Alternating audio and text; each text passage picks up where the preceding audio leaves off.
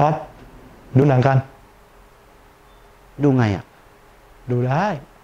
ดูได้ไงอะก็ดูผ่านแอปพันนานาไง ชื่ออะไรนะพันนานา ชื่อแอปอะไรนะพันนานา ชื่ออะไรนะ ก็บอกเพื่อนไปว่าใช้แอปพลิเคชันพันนานา แอปพลิเคชันเล่นเสียงบรรยายภาพสำหรับผู้บกพร่องทางการเห็น ใช้ง่ายๆ เพียงเข้าพันนานา และกดที่ปุ่มเชื่อมเสียงบรรยายทันที แอปจะฟังเสียงจากภาพยนตร์ และค้นหาเสียงบรรยายภาพ กดดาวน์โหลดเสียงบรรยายภาพ เมื่อเสร็จสิ้นให้กดที่ชื่อภาพยนตร์อีกครั้ง แอปพลิเคชันก็จะเล่นเสียงบรรยายภาพที่ตรงกับภาพที่ปรากฏบนจอ น้อยวิ่งเร็วขึ้น หัวของสายก็ลอยตามมา